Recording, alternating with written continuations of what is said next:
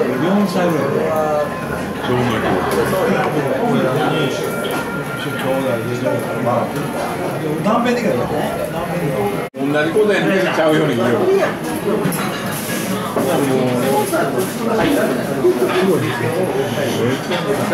それとは中途採用子供何やったなん。か問屋かなんかどっか問屋かこっちぐらい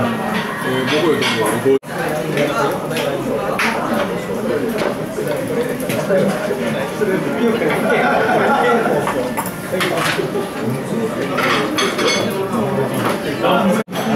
あみたいなやっぱり人を見るかですよね。社員もお客さんも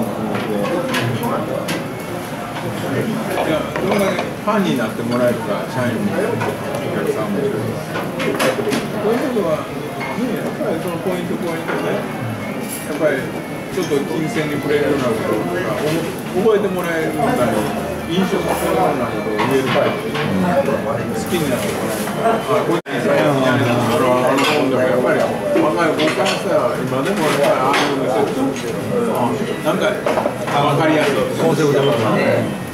やっぱり人に恵まれるのが裏ことだ